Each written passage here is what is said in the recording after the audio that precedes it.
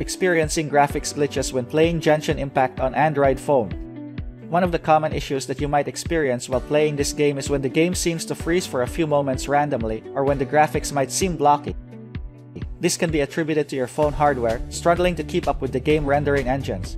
Before proceeding with the troubleshooting steps, make sure that your phone meets the minimum requirements to run the game. Lower the graphics quality of Genshin Impact. By reducing the graphics quality, your phone's CPU and GPU will not have a hard time in rendering the game graphics, especially in high action scenes. Open Genshin Impact, then tap on Menu. This is located on the upper left side of the screen when the game fully loads. Tap on Settings. This can be found at the left side of the screen and uses a gear icon. Tap on Graphics. This can be found at the left side of the screen change the graphics quality to lowest. This can be done by tapping on the drop-down box under Graphics Quality. Exit from menu. You can do this by clicking on the X icon on the upper right side of the screen.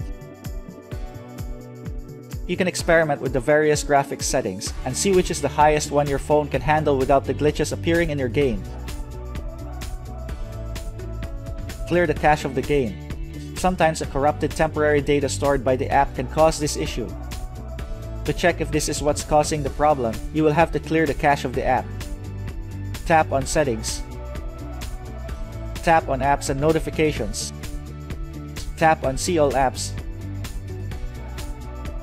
Tap on Genshin Impacts. Tap on Storage and Cache. Tap on Clear Cache. You should then check if the issue still occurs. I hope that this guide has been helpful. Make sure to like, share, subscribe, and hit the notification bell for more videos in the future. Thanks for watching.